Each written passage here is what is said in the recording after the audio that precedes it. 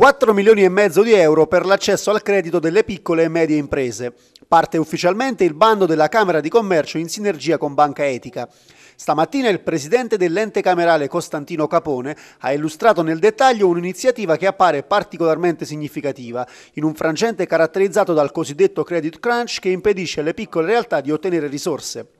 Il finanziamento avrà un tetto massimo di 15.000 euro con rimborso rateizzato in 5 anni e potrà essere richiesto anche manualmente presso lo sportello microcredito gestito da Banca Etica nella Camera di Commercio di Avellino. Noi partiamo da un presupposto che oggi più che mai eh, ognuno si deve assumere le responsabilità fino in fondo quando c'è da salvare un territorio e soprattutto c'è da salvare l'economia di questa provincia. Il mondo bancario praticamente ha bloccato qualsiasi forma di erogazione. Presenteremo dei dati, eh, nel 2013 a fronte di 8 miliardi di raccolta, il sistema ha concesso sul territorio 4 miliardi e mezzo, quindi stiamo parlando di un qualcosa come il 50%.